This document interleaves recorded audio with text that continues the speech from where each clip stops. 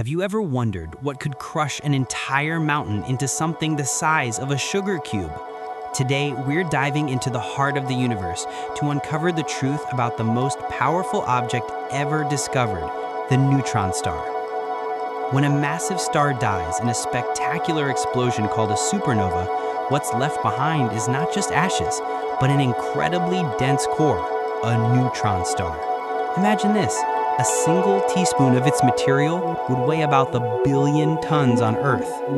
A neutron star packs the mass of our Sun into a sphere barely 20 kilometers wide.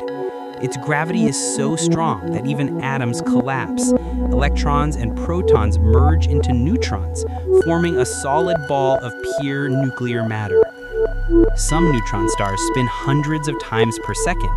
These are called pulsars, and they shoot powerful beams of radiation across space, like cosmic lighthouses. The energy they release can outshine an entire galaxy. And here's the mind-blowing part. If two neutron stars collide, they create ripples in space-time known as gravitational waves, shaking the fabric of the universe itself. Isn't it amazing that something so small can hold such unimaginable power? If you want to explore more cosmic mysteries, check out my long video on this topic. It's linked right below. Don't forget to like, share, and subscribe for more fascinating space facts.